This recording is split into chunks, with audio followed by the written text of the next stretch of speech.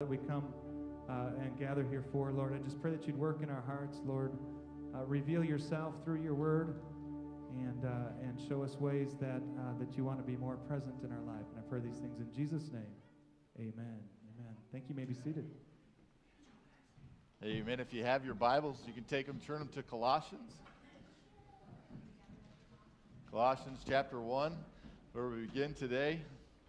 You may have been online this week and saw the promotion trailer for the Colossians series. After I watched that thing, I was like, man, I've got, I got a, it's like an epic. Uh, so I got a lot to live up to here, try to make this uh, super thrilling and exciting. I hope we can match the intensity uh, of the little promotion that's been out on, on social media. But I'm excited. Uh, we've done this, we, we do this every now and again. Uh, and, and Lord, I just feel has led us to this book of Colossians, which is just so important uh, in our thinking, in our theology. Uh, and Paul writes to the church, the saved people in the city of Colossae, and he's going to talk to them about crowning Christ at the center of their life. And that's what we're kind of where we're at. Um, I can hear it in the music, uh, I can hear it uh, even in the prayers that have been offered up in our service today, how the goal is Jesus Christ and the power is Jesus Christ. How I get there? It's not my flesh, my strength, or my discipline, or my ingenuity. My, it, it, is, it is abiding in Christ and letting Him be at the center, letting Him power me. I'm in Him, Him in me. Uh, that is the mystery uh, of the Christian life, as, as Colossians will uh, talk about in chapter 2. Uh, and then the goal is to know Christ better, to know Him more, to experience Him uh, now in our life. And I'm so thankful for the transformation that's taking place and the spiritual growth that's taking place in our group as we understand. We've been on this journey over the last, I would say, 18 to 24 months of kind of taking us out of the center of church taking anything else that's here and putting Jesus Christ in the center uh, where he goes. And that's the journey that we're going to see in the book of Colossians. Uh, and so I know that it's going to be an encouragement and help to you. Today, I'm just going to kind of introduce the book, give a few background, and talk through verses 1 and 2. Uh, and then next week, we'll start to get in kind of to the meat, things that Paul is wanting to address. But this is going to be helpful information that's going to lay uh, the groundwork for you. Last week, before I get going, we talked uh, about our mission as a church, where we're headed, uh, what Christ commissioned us to do, what he empowered us to do, what he's given us his presence uh, to help us to do his work and that we would do greater things uh, than Christ did when he was on the earth. And we asked the question for everybody, if you weren't here, didn't hear it, I'd love for you to go back and watch that service. We just asked this question uh, Are you in? Do you want to be part of the mission? Because we understand a church is more than just a place that I go and watch someone talk and listen to sing or even participate in those things. But a church is a gathered group of people on a mission with Jesus Christ uh, to experience Jesus Christ. And we asked, Are you in? We asked you uh, that little fancy QR code on the front of your seat. Uh, you can click on that, uh, and there's a question there at the very top of that little page. It says, uh, are, I'm in uh, sermon decision. And you click through that, and just has a couple questions for you. This is why I think this is important right now. It's because over the last 14 or 15 months, this world has kind of turned a little bit upside down. You notice that? Anybody? It's just me that's been kind of feeling that way. Uh, and even in our church, a lot of times we just kind of like, whoa, where, you know, where'd so and so go? Are they still here? I haven't talked in six months, or I keep getting a text, but I don't ever see them. Uh, you know, where, what's going on? Uh, and even for some of us, I think even if we've shown up week after week after week, uh, if we're not careful, what we can do is kind of get settled and lulled into just kind of, just again, just showing up. And we recognize that from time to time we need uh, our, our we, we just need to be shaken a little bit and encouraged. The Bible word to be provoked uh, and reminded of what we're doing here. Reminded of the mission that we're on. Reminded what, where God is at and where He's what he's going, uh, where he's going, and that we want to be with him and experience and know him more uh, in a greater way by serving with him, by responding in faith to all that he's done, what he died on the cross for, uh, so that I could obey, so that I could follow him, so that I could be on mission with him. And we just ask you to think about maybe there's one area. Now, look, I don't want any pressure from me to be on you. Like if you say, I don't like QR codes, I don't like filling out questions, I'm not doing it, then that's fine, okay? Uh, and, and I'll probably at some point go, hey, what's, what's your attitude about No, I'm kidding. Uh, but I w- no, even in that, the, there's a great response, a great opportunity for all of us to grow because I'm assuming that's why we're here. Where it's hey, I noticed that you refuse. No, I've noticed that you didn't opt in. Oh, I didn't hear about. It. Okay, let's let's talk about that. Or you know what? It's just I'm just not there yet. How, okay, how can I pray for you? I do see this as an opportunity uh, for us to communicate. I do see this as an opportunity for us to be accountable to one another, and I do see it as an opportunity to help us where we're at. To help us to figure out what's next. Where do we need to move? How does, how does Christ become more at the center uh, of my life as we move forward on this mission of Jesus Christ. And there's a couple categories as you click through there uh, that we say, man, I feel like it's just right now. I just need to show up. I just need to need to be here every week, and I need to trust Christ to give me the grace, trust Christ to meet me there, and just be in the service in a week. Hey, maybe it's a city group. Maybe uh, you need a smaller community of people that are encouraging one another around Christ and the mission of Christ. And you've been thinking about it for months, but you kind of been well, it's COVID, and I got a mask, and I don't have a mask, and they don't have a you know, and we ran out of hand sanitizer, so I can't go this week. And, you know, and we've got a thousand different excuses. This is in some way just a little bit of encouragement. Say, hey, let's, let's go. It's probably time to kind of figure out how to navigate in this new normal, and let's just move forward in a way that would be pleasing to the Holy Spirit, in a way that would be dependent on Him, uh, with Christ at the center of that. And so, uh, if you haven't done that yet, I want to encourage you uh, to go to that form and, and, and fill that out. Think through that and pray through it. God, what do you want me to do? Where do you want me to experience you at? Uh, and then, if I can be a help in any way, I certainly uh, would love uh, to do that. You know, when we answer the question of Colossians, ultimately what we want to know, what we want to, my prayer for me, my prayer for you is this, is that Christ would be at the center of your life. That we would crown him at the very center of life. You know, a lot of times, even for people who come to church on Sundays, if we're not careful, Christ can become the accessory of my life where he's there. Oh, yeah, I love Jesus. Oh, I love you know. Uh, but he really is. It's kind of like if I have time, if I'm in a pinch, if I really need something, then we'll usher in Jesus and have him, you know, like bring him back in and do a few things that kind of get me to feel like uh, I'm on a roll or feel like I've got my feet underneath me or feel like I'm uh, making some momentum in life. And then as I get going, I just kind of push him off to the side. The, the reality is we want to keep Christ at the center and, and one of the things that Paul's doing in the book of Colossians is he's just explaining why Christ deserves to be at the center. Uh, how or why he should be there, and then how do we keep him there? The things that we should focus on, the things that we shouldn't focus on. And so we're going to walk through these over the next several weeks. Someone asked me this morning, how long are you going to be in the book of Colossians? Uh, the, the really, the real spiritual answer is as long uh, as the Lord allows us to be. And doesn't that sound very spiritual? uh, and proper. We're just listening to the Holy Spirit. No, honestly, I've kind of mapped it out. Uh, I could see how someone could preach about 23 messages from the book of Colossians. Uh, that being said, uh, it may be over in 12. It may be over. It, it all depends on how many amens I hear. I'm figuring if it's more amens, you're liking it, we'll take our time. I'm really in no hurry. Uh, but like next week, uh, we'll talk about verses 3 through 8, and that's one sentence in, in the original language. It's one sentence.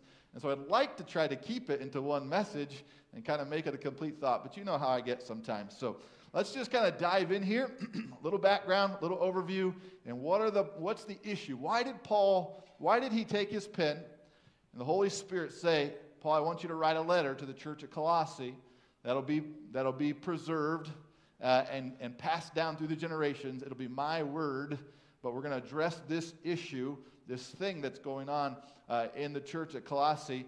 Why did he write this letter? Why did God move Paul to write this letter? Hopefully, by the end uh, of today, we'll have that figured out. We want to crown Christ at the center of our life. If you're outlining the book, you could outline it like this. Chapter 1 would be that, that we want to, uh, uh Colossians chapter 1 crowns Christ as Lord of our life. We're going to see that, how he's the firstborn among all the creatures. He's at the top rank of all of this. Chapter number two is to crown Christ as life and that our life is wrapped up, our energy, our power, uh, our ability, what we're living for, the goal, uh, and the power to reach the goal is Jesus Christ. Uh, when Christ, who is our life, shall appear, then we'll appear with him in glory. We'll experience that glory.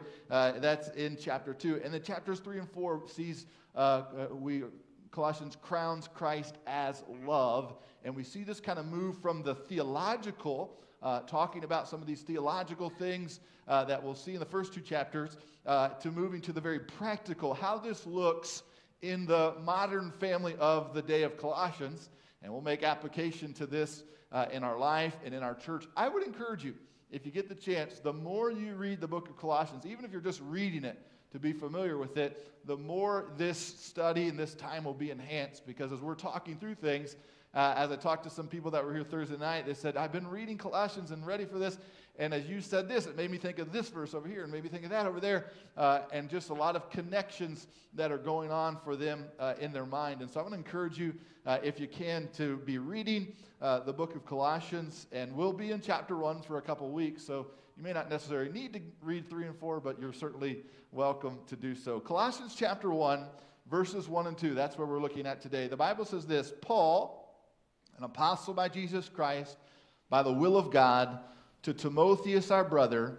Verse 2, he says, To the saints and to the faithful, the ones that can be counted on, brethren in Christ, which are at Colossae, grace be to you and peace from God our Father and from the Lord Jesus Christ. So that's just where we're going to focus today. Again, just kind of an introduction, uh, like you're writing a letter. Hey, this is Paul. Uh, I've got Timothy here with me, and this letter is to uh, this group of people. So the first thing we see is the authorship, and that is that Paul is writing this. Now, probably any book in the Bible, if you were to Google it and figure out who wrote the book of Ecclesiastes, oh man, you're going to get all kinds of different ideas and thoughts. Uh, who wrote the book of Isaiah? Who wrote the first five books of the Old Testament?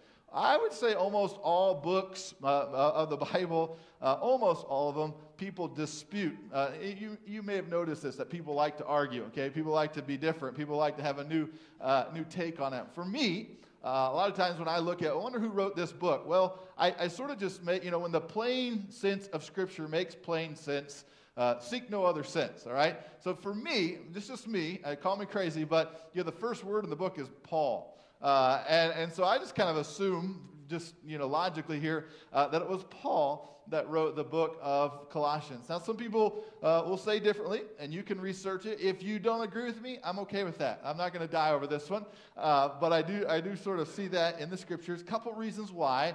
Number one is he mentions Timothy. Now, Timothy's like his sidekick. He's a son in the faith. He's a brother in the faith. He's with him on many different journeys. He writes to Timothy, 1 Timothy, 2 Timothy, uh, and he's with them a lot. And so he said, Hey, here's, I'm Paul. I'm here with Timothy, and we're writing to the church at Colossae. So that's one of the indications. The other thing is, it's very similar to the book of Ephesians. There's a number of times where you'll read through Colossians and you'll be like, I've heard this some other place, or I've heard it just slightly in a different way. And if you're going to take Colossians and Ephesians and stick them together, you're going to see some very similar phrasing, some very similar words uh, and things that are going on. And so I think, I think that's because Paul's writing from prison. He's in jail uh, because of his proclamation of the gospel, uh, and he's headed to Rome. Uh, he's going to appeal his case before uh, Caesar, and we'll see that in Acts 28. Uh, but he's writing to these churches to encourage them uh, and this language is very similar. So for me, when it comes to the authorship or who wrote this book, uh, I'm likely to give it to Paul because one, the Bible says so, and then there's a couple other internal indicators like that. Number two, I want you to see the audience. Who is Paul writing to? And again, uh, it seems kind of obvious, especially if you've been in church for a while. Uh, you know, if it's the book of Thessalonians, it's to the Thessalonican church. The book of Colossae, there's this city uh, in ancient days uh, called Colossae, and there's some believers there, and Paul is writing to them. Paul with Timothy writes uh, to the believers, but we're gonna we're gonna talk about their geographical location and some of the demographics that are going on in Colossae. But for a moment here at the front, I want to talk with you about the audience, the person, uh, not where they live and maybe what they're encountering in their life, but who they are because of Jesus Christ. Paul's writing to them because they are believers. Paul's writing to them because they've come to know Christ as their Savior. They've received Jesus Christ as their Savior. They've churned uh, from believing uh, in the Greek gods. They've churned from believing in their own religion or their own self righteousness, and they've chosen Jesus Christ alone as their Savior.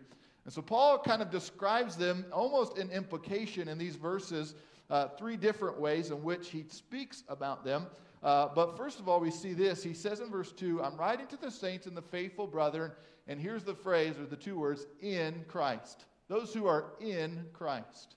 The, the thought is here is that what Paul is saying, the first two chapters especially, and if there's ever any hope to practically live it out in chapter 3 and 4 in my life, it really is a big key to begin this within Christ. So many people attempt to be a Christian, they attempt to go to church, they attempt to live a good life, but they, they try to do it in themselves, in their own strength, in their own self discipline, in their own self righteousness, and they're depending on themselves and their denomination or their upbringing or some spiritual experience they had or some dream that they had or the fact that they're not as bad as the next guy in order to uh, gain favor with God or to access the blessings of God. Hey, I'm pretty good. God ought to do something for me. Hey, I went to church today. God ought to answer my prayer for a new car. Uh, and, and, we, and we try to uh, get God to do something for us based upon who we are, what we've done. Well, Paul's not writing to people like that. Paul's writing to people who are in Christ. They've come to understand that they can't save themselves, that they can't gain favor with God in their own efforts, that try as they might, and as disciplined as they are, and as faithful as they could be to attend spiritual gatherings and all those sort of things, that they still come up short of the glory, the holy perfection of God. And so they need a Savior, they need help. And that Savior they've chosen to be Jesus Christ, which is a good choice because he is the only true Savior. He was God. He became man who lived perfectly on this earth, died on the cross for you and for me, shed his blood, became sin for us. He who knew no sin, so we could be made right with God. He was buried, rose again on the third day to prove that he was God, to prove that he was bigger than your sin, and to uh, complete the offer of salvation uh, and to say, Here, believe in me, come to me. I'm the resurrection of life, I'm the bread of life, I'm the door. If you don't come through me, you can't get into heaven. I'm the way, the truth, and the life. So here's the way that Paul describes these people, first of all, and most important, is that they are in Christ. They are born again. They are saved, and there's no question, no doubt about that. Can I ask a question this morning? Do you know Jesus Christ as your Savior? Are you in Christ? I sure hope so. Look, maybe though you're sitting here and you go, whoa, man, I, and like it's, I just showed up and it's like my first time here, my 10th time here, and like this guy, uh, you know, he's like looking in my mind. The truth is, I, I was trying to be a good person. I was trying to do this. I was, I was hoping that if I showed up here today, that maybe, uh, you know, God would do something for me, or I'd get into heaven, or this would be enough. Uh, and, I, and I'm so glad that you're here. I'm so glad that we're thinking on this together. But those things will not get you there. Those things will not gain you favor with God. Uh, a church attendance won't get you into heaven. It's Jesus Christ and what He did for your life. We're going to see throughout the book of Colossians, there's some people that think, hey, if you do this and do that and do that, that's where the spiritual experience is really at. And all Paul really is arguing uh, through the whole book of Colossians is get all the stuff out of there and put Jesus Christ at the center. And it begins with being in Christ or being saved. Are you saved? If you die today, do you know 100% for certain that your sins are forgiven and you're on your way to heaven? And I sure hope that you do. If you do not, my friend, I want you to know it would be the thrill of my life to sit down and talk with you uh, and help you from the Bible know how you can do that. I also want you to know that I'm not the only one that can do that, okay? Just because I'm up here talking doesn't, doesn't mean I got a corner on this. Most of the people sitting in this room could take a Bible and show you how you can know Jesus Christ and Christ alone as your personal Savior. The most important decision you'll ever make is to stop being in you, stop being in religion, stop being in self effort, and come to put your faith in Jesus Christ and be in our church. But growing up, all the time. It was confusing. Okay, I'm just going to tell you. When I was five, six years old, it was so confusing to figure this out because we go to church and my mom would go, "Hey, sister Amy, how you doing? Hey, brother Dan, how you doing?" And I'm like, "He's a brother, he's a sister." Like, I got so many uncles. I don't know. I'm just so confused. You know, like, uh, and and and now in 2021, when you do that, it sort of seems a little cultish. It sort of seems a little weird when uh, people come in and like, "Hey, brother." Uh, but you get it and you understand if someone does that don't be weirded out they're just talking like paul talked in the bible uh, and acknowledging the spiritual reality that when we're in christ we're given a spiritual family. We're brothers and sisters in Christ. And that is a wonderful thing, something we do not deserve, but God has graciously given it to us. Number two, I want you to see that we're sainted. The Bible says uh, to the saints, verse 2, and the faithful brethren in Christ. So not only are we saved, not only are we siblings in the Lord, but we're also sainted. Now, uh, we live in the great city of St. Louis, okay? So we're kind of familiar with this. You know, someone does so much good in their life. Uh, and after they die, uh, someone makes a decision, man, they're so good, let's put them in charge of real estate, okay? And if you need to sell your house, grab one of their statues and bury it in the ground and pray over it. Do all the things, and that guy's going to help you. He's going to go to God and he's going to talk to God and he's going to make that happen where you're going to get your house sold. And we've got a saint for this and a saint for that and a saint over there. And you can never hope to be a saint because, I mean, well, look at you. But these other people, I mean, they kind of qualify because they're, they're somebody something. Well, here's the, something that I'll throw all that on its head real fast is that the Apostle Paul, St. Paul, uh, writes to the saints at Colossae, living, okay? Uh, people with issues that we're going to see as we go through, but they're saints. They're saints. Look, you don't have to wait to die to be a saint. You don't have to wait to do something really amazing uh, eh, to be a saint. The reality is, the Bible says that when we are saved, that God forgives our sins.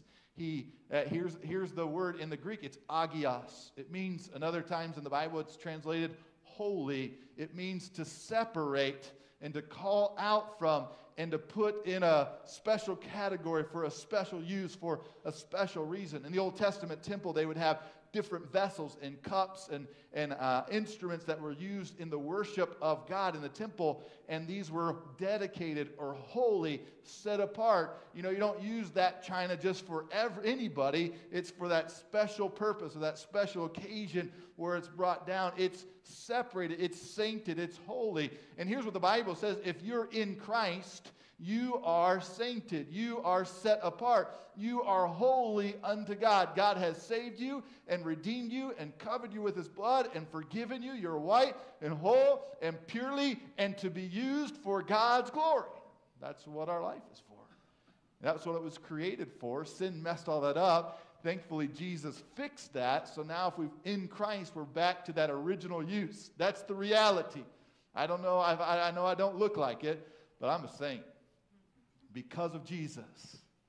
And I have a special calling, a holy calling on my life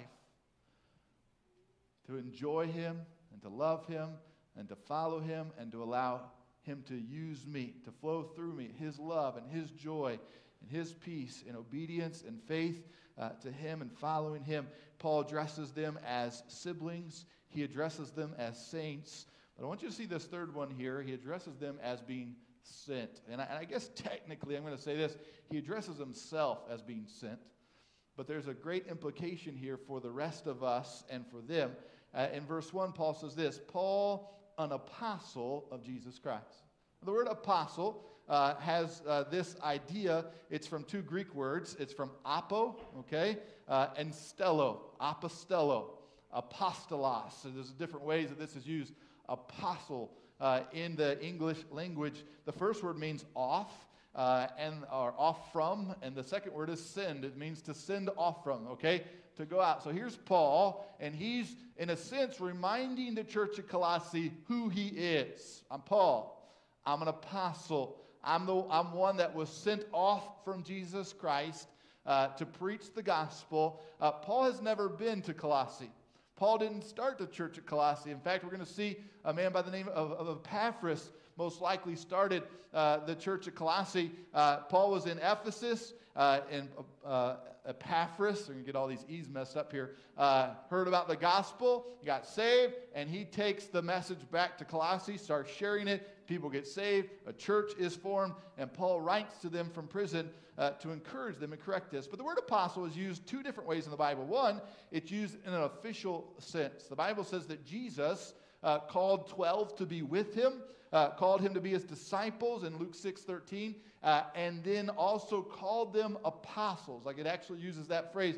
He said, You're apostles. I'm going to be sending uh, you out. Uh, Paul says of himself that he was an apostle uh, born out of due time, or at the, at the right time. He, he wasn't with the rest of them, okay? There was the 12, and Judas betrayed Jesus and committed suicide. Here's the 11, uh, and that were there with Jesus during his earthly ministry, that were called out by him, taught by him, sent by him. And then Paul's one that was kind of out of sync. He was out of time a little bit, but he met Jesus on the road to Damascus. He spent uh, a, a great deal of time, the book of Acts tells us, with Christ as Christ instructed him, and then he was sent to the Gentiles uh, to proclaim the gospel. And so there is a sense in which the word apostle, and I think a lot in our thinking, like we don't usually throw that phrase around or name around. Every once in a while, someone will say, well, Reverend so and so.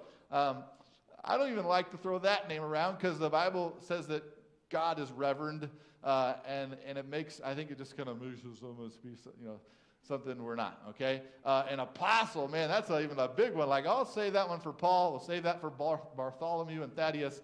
I don't want that one uh, necessarily in an official sense attached to me. Again, if someone uses that, I don't know it's the end of the world, but I think there's an official use to it that there was a very select few of these people, because even in the Bible it says the, the, that we follow the apostles' doctrine. The one, the teachings that Jesus gave to them, that they wrote down from Christ and they're given to us in Scripture. And so I think there is a, a level of respect. I think there is a, a level of selectiveness where there was just a few of them uh, for a number of reasons, but that's probably a different message. But there's an official sense of the term. Uh, and then there's also the unofficial sense of the term, in which this Greek word is used a number of times to describe a lot of different people.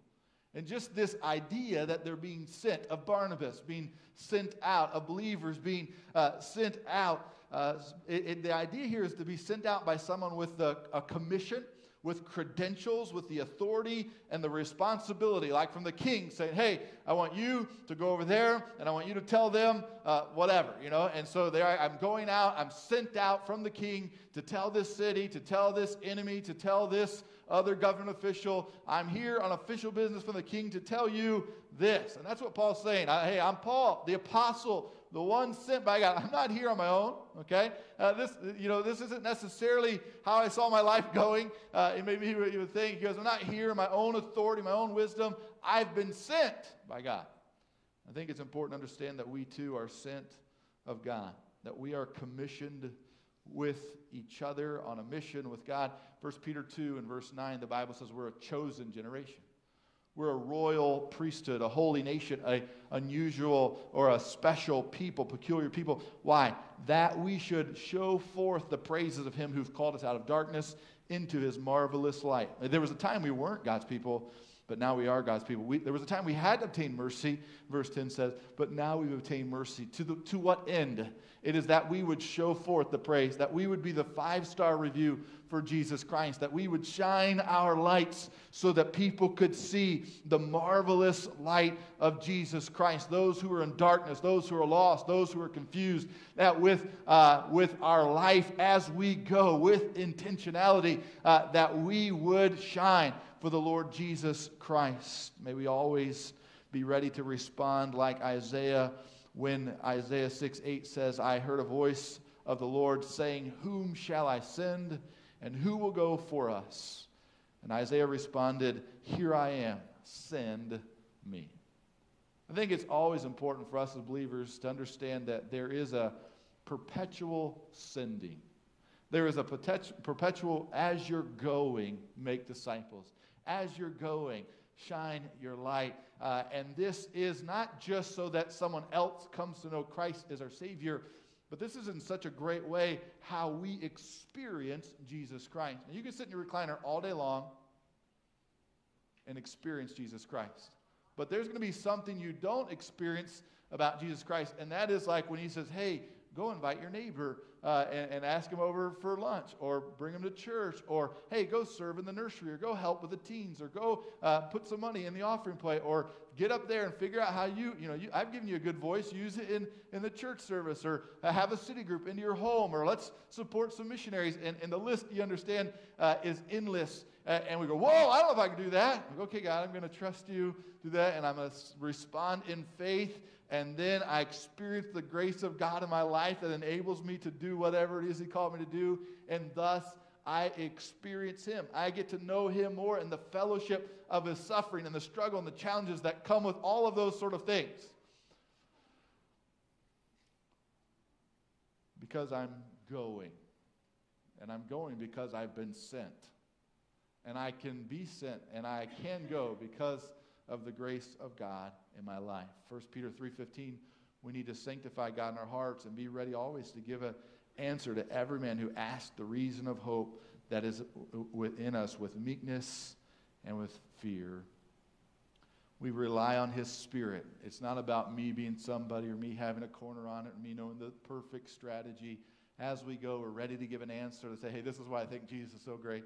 This is why God satisfies. Let me tell you about what He's done uh, in my life. And I do it with a, a spirit of meekness because it's not about me.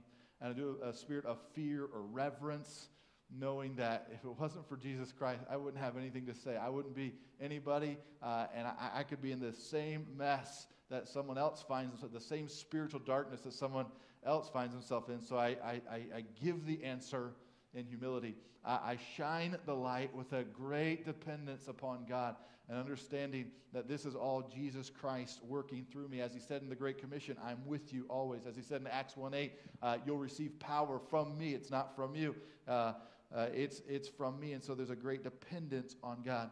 The, the secular Greek writer Demosthenes uh, gave this word picture of the word apostolos. Uh, he noted that it was used to describe cargo ships that were sent out with the load. And he also used it to describe the naval fleets as apostles sent out to accomplish a mission. And we've talked about this concept a number of times over the last couple months as we've considered what a church is. But you imagine uh, if, in a sense, if we stop treating church like, hey, I'm going to come in and see what they can do for me, okay, what can happen for me. And if we change the image from that to say, hey, I'm coming in to get the cargo, I'm coming in to be reminded about what's important. I'm coming in to get reconnected to Jesus Christ or to, or to grow in my relationship with Jesus Christ, to be encouraged and challenged by other uh, believers, to be led uh, and challenged by spiritual leaders in my life so that I can take the cargo, so that I can take the good news, so that I can take the gospel and I can go back out to wherever it is that God has commissioned me and sent me and sent our group and sent me as an individual and sent our family so that I can be a light for the Lord Jesus Christ. Paul says, I'm sent, and it's, let me scroll back up here and get the exact phrase. Uh, apostle of Jesus Christ. He's sent of Jesus Christ, and he's sent uh, by the will of God. The office was not something that he had earned or achieved, it was something that he was given by God's grace. And at the outset of this letter, uh, it is this really, even in the implication of it, it's just this whole doctrine or understanding of grace. Hey, we're saved. We're in God's family. We are saints in Jesus Christ. And we're sent by the will of God. This is God's will. Look, there's some things we have to pray about. There's some things we have to wonder about. There's some things we'll have to discern. But as our mind is changed to be more like Jesus Christ, there's some things that don't need to be computed anymore. Two plus two equals four. And I'm going with the gospel. And as I go in faith, uh, I'll experience Jesus Christ I'll receive uh, his glory. I'll be changed into his image. I'll know him more and more. This is by the will of God, and it's by the grace of God. Jesus himself said in John 15, 16, You have not chosen me, but I've chosen you. And to what? Ordained you that ye should go and bring forth fruit, and that your fruit should remain. Whatever you ask of the Father in my name, I'll give it to you. God has chosen us. If you're a believer in Jesus Christ, and He's ordained it to be so. It is His will that you would go forth and bring forth fruit. And yes, that is His work in you peace, love, joy, but it is also that that peace, love, joy, and all the Galatian 5 fruits would be. Would be spread into other people's life because they would say, Hey, there's the answer, it's Jesus. And they know that because they've been sent, according to Romans chapter 10, to, pre- to preach the gospel. It's his gracious disposition and design Paul could have spent the rest of his life persecuting the church, killing people who believed in the resurrection of Jesus Christ, and wasting his life, although he would have received many applause, many uh, awards, and much recognition. But God got his attention on the road to Damascus, satisfied his life, and then sent him to spread this same news again and again and again. You are sent by Jesus Christ on mission to shine his light, gifted by God to go with God. I, I want to say also, as a church, that we are gifted to go with God as a group. I, I think this is so important. Our, our church is, is new to this in many ways, and we're leaning into this, and we're saying, Lord, we, a lot of us have never experienced this before. We don't know exactly what it looks like, but we're praying that you would use us in this way. Uh, and in our city groups, our city groups are praying. And we're saying, Lord, how do we connect? How do we shine your light into this area of our city, into this place? Or what is something uh, that we could do regularly in a way that we would experience your grace as we respond in faith uh, and it would have an impact on other people who need to know the glory uh, of Jesus Christ? And as you get together, your city groups, uh, it'd be okay if you looked at each other and just from time to time reminded each other that, hey, you're gifted to go with God as a group. You're gifted to go uh, with God as a group together. And so we're not just here together hanging out. We're not just eating pizza. We're not just talking about the Sunday sermon, sermon especially if you're criticizing it. No, I'm kidding. Uh, we are together and enjoying life and helping one another and praying for each other and, and watching each other's babies and baking each other casseroles and reminding each other of verses. Uh, but as we're doing that, why, why, why, why, why? It's so that we can keep going on the mission and experience Christ more and more people know the glory of God. Even Paul, as he was pioneering, uh, went with a group. He mentions uh, Timothy. Uh, there's many others that he was, people that he was discipling, people that he was mentoring, people that he was in a group with, uh, and going uh, as a team together uh, in spreading the gospel of Jesus Christ. We could say, say like Paul says, I'm Paul, apostle, uh, and I'm sent by the will of God to, and, and he kind of fills in those blanks. We could say, hey, I'm John. I'm a, a preacher by the will of God. Any Johns want to take that one up this morning? No? Okay. Uh, or I could say, hey, I'm, I'm Ben, an, an, an, encourager. And uh, let's make Ben a giver. Uh, I'm, I'm a giver of, of, money in the offering, right, Ben? There you go. I'm like put him on the spot. No. Uh, I'm Kathleen, an encourager by the will of God. Or uh, I'm Ginger, a, fr- a friend to someone by the will of God, a supporter, a giver, an organizer, a singer, a leader, a helper, a prayer. Friends, we're all been gifted by God. Not everybody has the same gifts, not everybody has the same callings. But God has gifted you in His Spirit as a group to go with the gospel and with God and to enjoy Him on this mission. We're not self made anything, it's His gracious disposition that has allowed us to have this valuable part in history, in His story. We're sent on a mission with God, satisfied, strengthened, and sustained by God. I want to look at verse number two, and I want us just to consider in our time remaining what's the issue going on at Colossae? Why did Paul get his pen out? Why did the Holy Spirit move him? Why did God breathe these words that Paul wrote down uh, and inspire this letter to the church at Colossae? What's going on uh, in Colossae? Uh, uh there's a map on the uh, screen up there. It'll show you uh, that the city of Colossae is about 80 miles east uh, of Ephesus. You can see everybody remember your world geography class, and there's the boot. Okay, that what what uh, country is that? Okay, good. I was worried I'd. I was worried you'd be embarrassed by giving the wrong answer. That's great. Yeah, Italy uh, is right there. The Mediterranean Sea. Uh, we have modern. Uh, there's Greece and then Turkey, uh, and that's kind of where we're at in this uh, what would have been referred to in the Bible as Asia, Asia Minor. Uh, this modern day Turkey. Ephesus is on the coast, and about 80 miles or 100 miles inland, we have Colossae. And it was a big city at one time because it ran kind of right in the middle between uh, Ephesus and then the Euphrates River, which would have kind of been over there to the far right of the screen. And so people come through a lot of traffic, a lot of people saying, oh, this is a good place to stop. Let's live here. And so this constant uh, exchange of people kind of relocating. There's this uh, unique mixture of people that come together. It was a major city until uh, the times of Paul, really Laodicea, which is a city we've heard before from the scriptures, and Hierapolis. They kind of took over those positions. Like if there was an article written, it would be like the fourth best city to live in Asia Minor is Colossae. Uh, you know, in front of it are Ephesus, uh, Hierapolis, and Laodicea. And so it's sort of a dying community. It, it, it has been, okay, in the past. But there's a church there.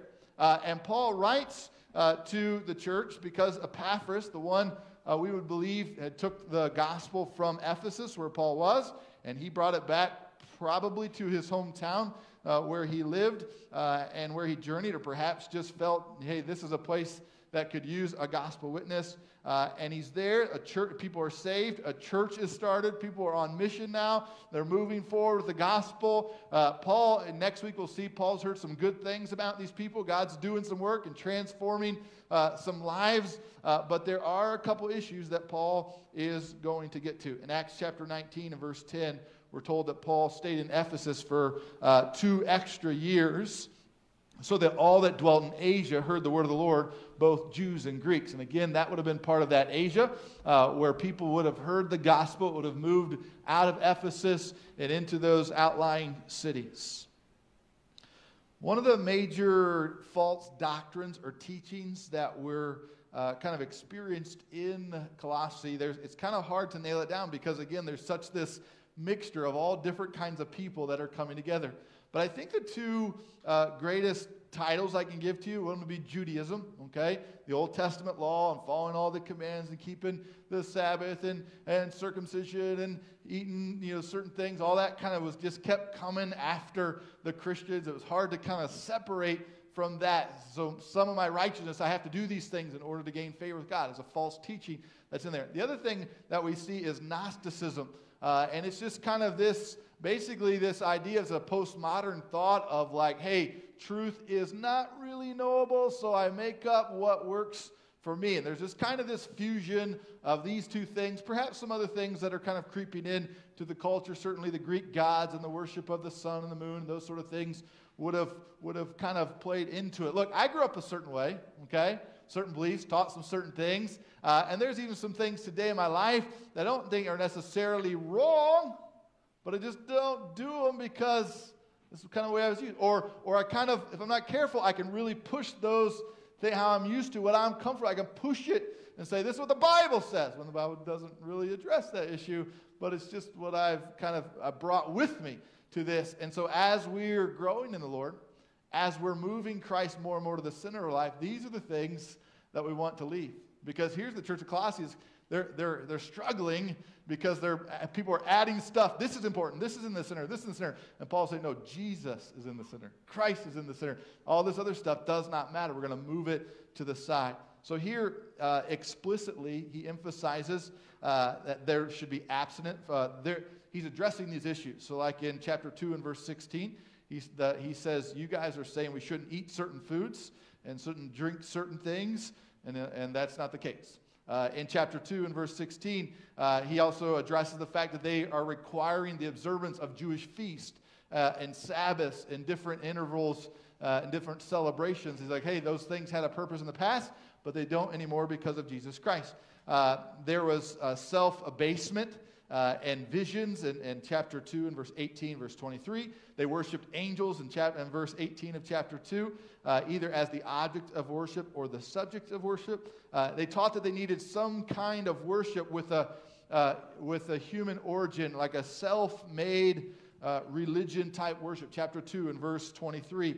And it praised the value of treating your body severely. Chapter 2 and verse 23 of like, you know, in a sense of like cutting yourself and like getting on your bare knees and crawling up the steps. And like the more hard stuff you did, then you would gain this new elite level of knowledge and intimacy uh, with Jesus Christ. And although uh, the Christian life may have persecution and may have hardship and suffering, uh, it's, it, our value before God isn't based on how many stairs we can climb on our bare knees.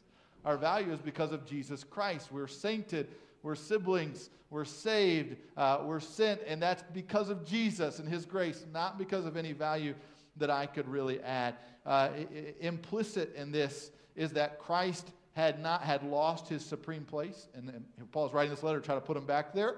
Uh, he had kind of lost that. There's also this catchphrase that Paul is using in a Christ-centered way, but I think it's in a, in a kind of in like, hey, you think fullness is found here, but I'm telling you, fullness is in Jesus Christ. And you think this is where it's at. This is the full thing. This is the whole picture. This is the next level. But I'm telling you, all that we need is in Jesus Christ. It claimed to promote a higher spirituality. Uh, it uh, required circumcision.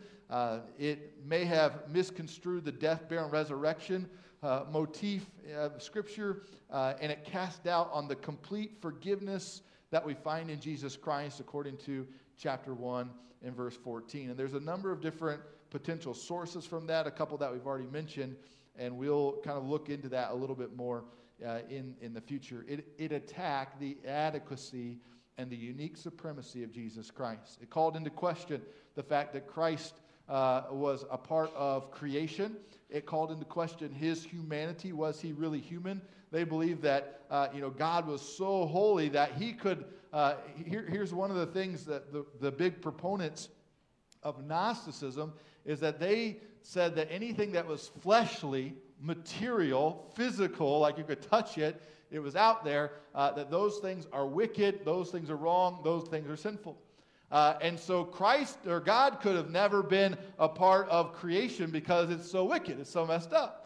And so what happens is God's up there uh, in eternity past, and He's kind of creating these lesser gods, lesser gods, lesser gods. And the farther, farther away these eons would get away from God, and finally, one that was so far away from God, it wasn't really even God, he created earth because he wasn't even close to God, so he, he could be messed up a little bit, and he created this messed up place called earth.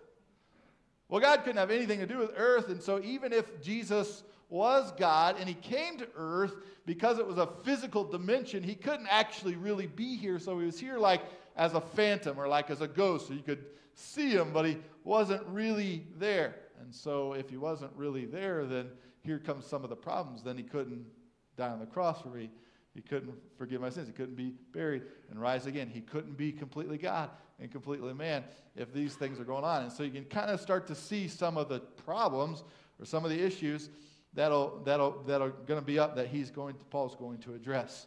Um, this was kind of a know it all snobbery thing in the sense of like, oh, that's cute. You guys have your, uh, you know, you guys have your, your, your, uh, your kind of faith or trust in God, but here we are on a higher level with this like hurting ourselves and these difficult things and these, and these secret handshakes and these initiations that kind of bring us. And it wasn't because there, it really was, it was sort of a social elite thing where they're trying to you know, we don't like these people. We're just going to, you know, kind of leave them out on this, and we're going to bring up here. Here's what happened.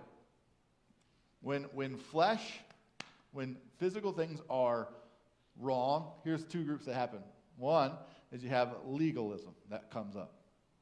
And the other is you have license. And here's, here's what happened in Colossae uh, and with Gnosticism. One, you have legalism who would say it's all wrong. I'm not going to touch it. I'd never go there. I'd never do that. I wouldn't have one of those. I'm not going to, almost uh, kind of Amish mentality in a sense, you know. Uh, and, and, now there's all these rules and levels. Well, we can touch this, but we can't touch that because it came from a third generated sort, you know. And you get all these technicalities of legalism, and they look down on people because you use one of those or you went to that thing, you drank that. As we have this legalistic mindset, and hey, if you want to be like us, if you want to be right with God, then you got to follow all these rules. And Paul's writing them to the book of Colossians to kind of fix that. Here's the other group that comes out of it, uh, and that is this: is license where they just say, hey, we can do whatever we want. Because look, here's the thing the physical doesn't matter, it's just stuff. It's just created. It's not where the real godly, spiritual things are at. So we can do whatever we want because it's, it's the spiritual, internal, and not the like Christ changed internal spiritual thing, but like the depraved, sinful nature of man. Says, hey, we can live however we want because it's just that. It's just one of those things. It's just, you know, in a sense, it's just stealing. It's just stuff. And it's wrong for them to have it. It doesn't matter if I take it because that's not where real life is at. Real life is on the spiritual level. And so it gave a license to the, some people decided to go with that license route, just do whatever they want and live like however they want. And so Paul's going to write the, to the church at Colossae, and he's going to help them understand uh, that it's not legalism and it's not license, but in fact, there's liberty to be found in Jesus Christ. That as Christ is in us, the hope of glory, he renews our mind. We develop a spiritual discernment that is radically dependent upon Jesus Christ and the leading of the Holy Spirit. We are in, uh, we are forgiven by Christ and freed so that we uh, can allow Him to live through us, so that we can do right, so that we can go on mission, so that we don't have to be in bondage to these sort of things. Sometimes people claim liberty in Christ, I'm free, but then yet you see them in bondage to some great things because they've chosen the path of license. You know, that doesn't always look like a drunken man like passed out on the parking lot of some bar somewhere. You know, a lot of times that can look like people who sit in church and they celebrate the forgiveness of Jesus Christ, but everything stops at the cross, and that's a problem.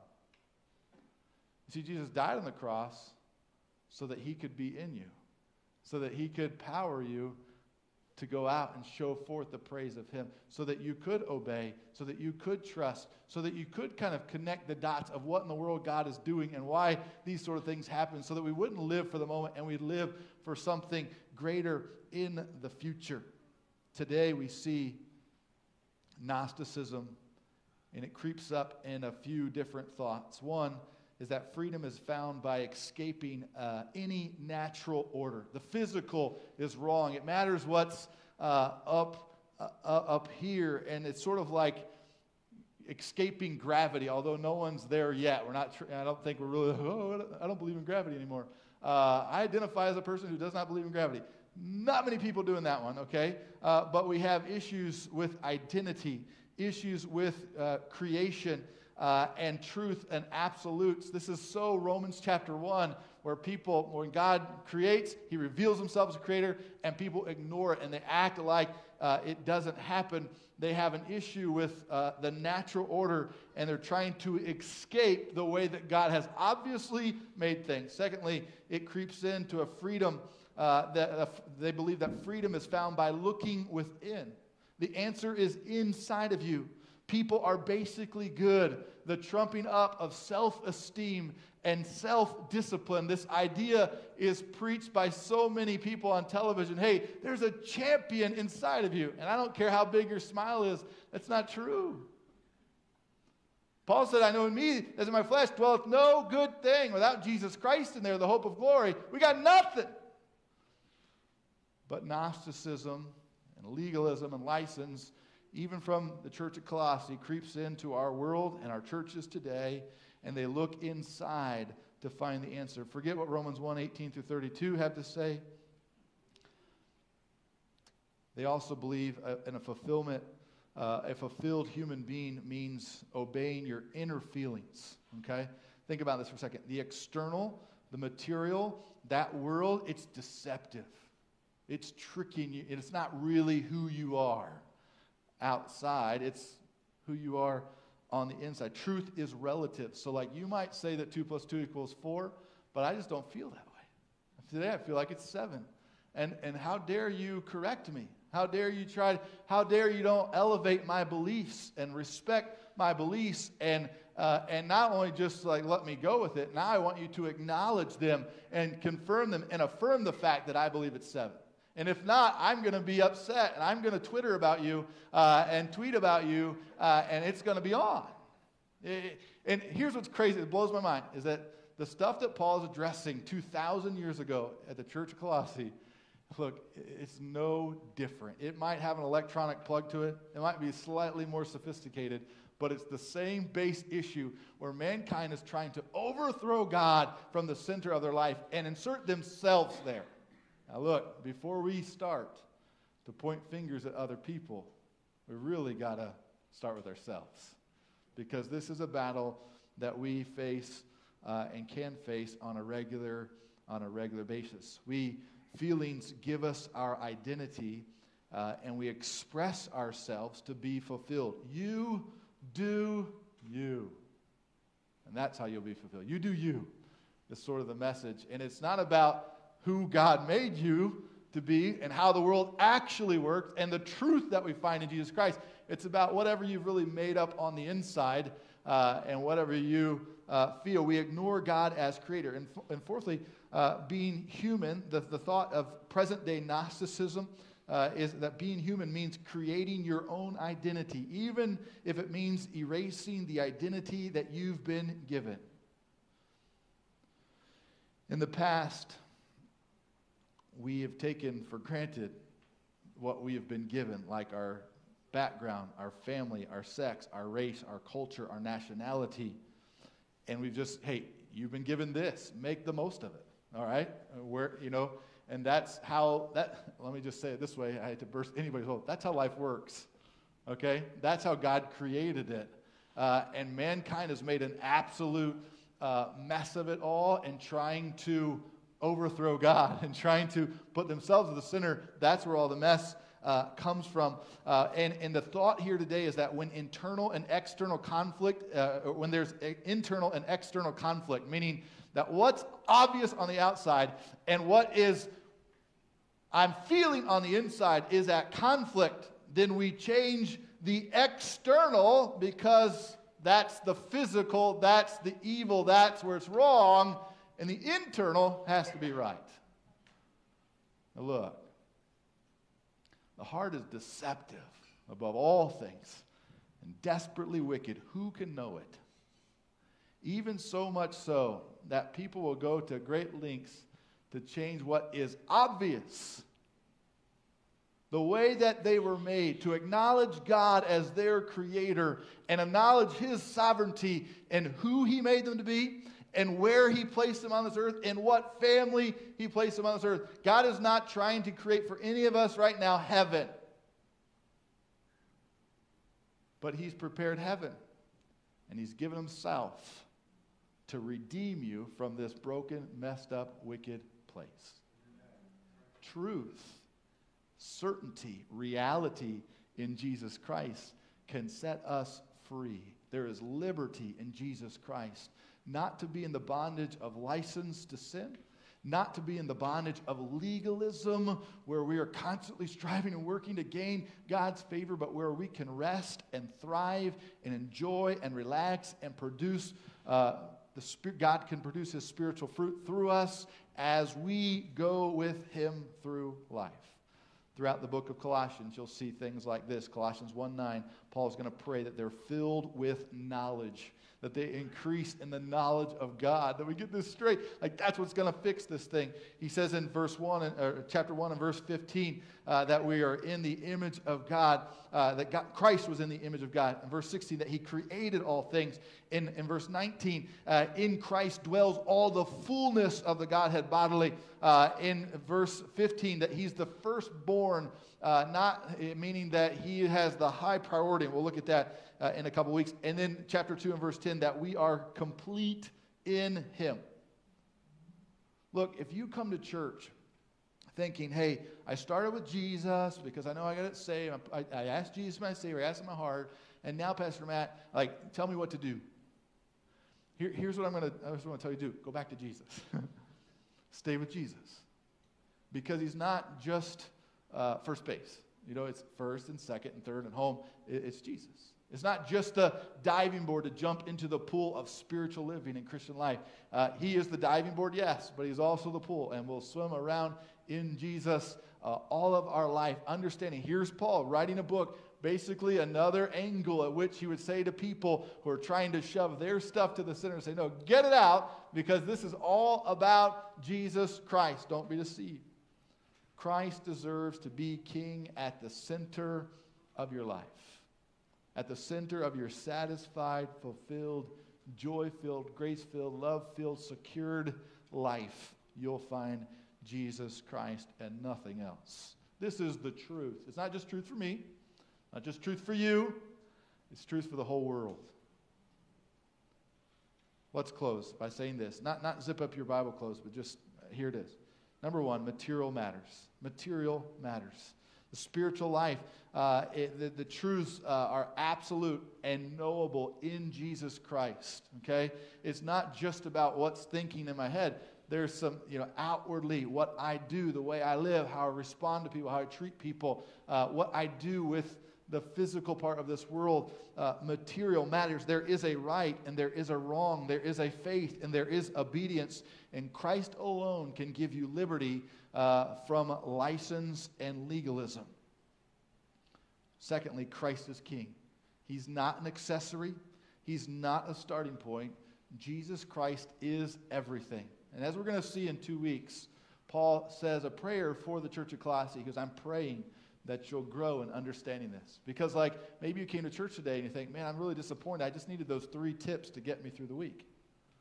And all, all Paul's going to say to you, and all I want to say to you is no, you don't need three tips. You need one, and it's Jesus. Look, I know you'd like me to tell you, hey, if you'll just put $100 in the offering plate every week, and if you'll just light 47 candles, and if you'll take that bead and you'll put it from there and put it over there, you're going to be squared away. But that's not how it works. First of all, that's nothing about Jesus. It's all about you. It may make you feel good. It may make you feel superior. It may make you feel like you can do whatever you want. But that's not what God is promoting. That's not truth. Christ is King, and He is everything. And we keep coming back to Him. Thirdly, in Christ, praise the Lord, we are siblings, we are saints, and we are sent because we are saved. We're in Christ. This is the opportunity to praise Him and to thank Him. Look, this is, I, I know you watch a, a, minute and 12 second trailer on Facebook and think, man, this, this series is going to be awesome. Uh, and then we come today and it's the introduction. This is like names and locations.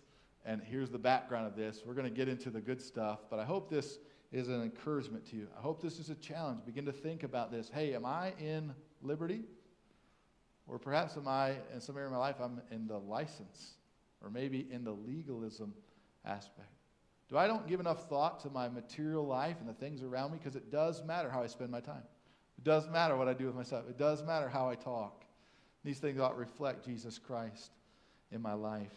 And then, do I understand my calling? Do I understand God's will in my life as a sibling, as a saint, as a sent one of Jesus Christ? I'm gifted by God to go with, go with Him as a group, as a church. And I pray that we would respond faithfully to the Lord as He's worked in our heart today. Let's pray. Father, I thank you for these simple truths. I know we've taken a little longer than normal. I didn't want to preach two introduction messages. Lord, would you help us just to keep gathering around you? We sing about you, we pray to you, and then we get into the Word. May it show us you more. Lord, would you help us this week to recognize that you have a truth, and it's found in Jesus Christ. There is a fullness found in Jesus Christ. May, may we live as a family member of God, as a saint, as a sent one that has you at the center. Lord, show us where we might spend a whole day or a whole week trying to find fulfillment in something other than you. And Lord, when we see that, may we respond in faith and just turn back to you and trust and dependence and rest in you. And then experience your joy and filling and peace and love. Lord, would you, I pray with the Apostle Paul, that you would grow our knowledge of Jesus Christ as we spend time around this precious book of the Bible. And we ask these things in Christ's precious and holy name. Amen. If I can talk with you, pray with you, I'm going to slip to the back as we sing here in a minute. I'd love to talk with you even after the service.